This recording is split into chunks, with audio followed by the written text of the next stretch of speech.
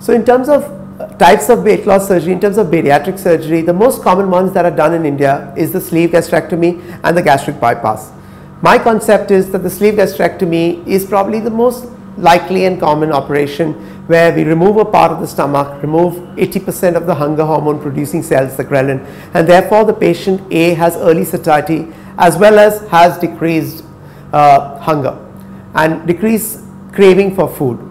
The, the good part about this surgery is that the stomach, because it's a normal natural organ, eventually food passes through the normal GI tract. There's no realignment of GI juices or anything. At the same time, it does not remove any of the absorptive surfaces like the intestine. The intestine is the only absorptive surfaces. Stomach hardly ever absorbs food. And that is why when food passes through this, it gets absorbed mainly. So if done properly, sleeve gastrectomy is a great option.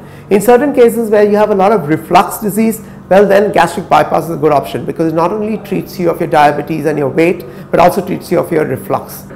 So uh, weight loss surgery, there's a lot of misconception that you know we develop this huge amount of multivitamin deficiencies and long term we can develop cancers, we can develop liver disease, we can develop kidney disease.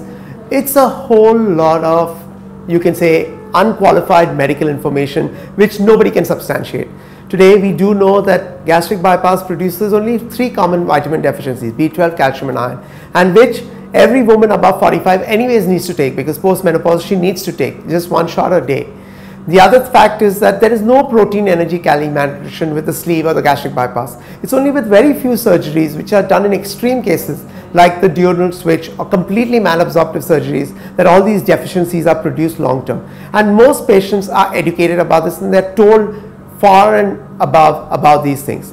The other thing is that a fact that not too many people know about is that the most common cause of cirrhosis of liver today in the world is NASH, non-alcoholic steatohepatitis. So it's beaten alcohol, it's beaten hepatitis as the most common cause of liver disease.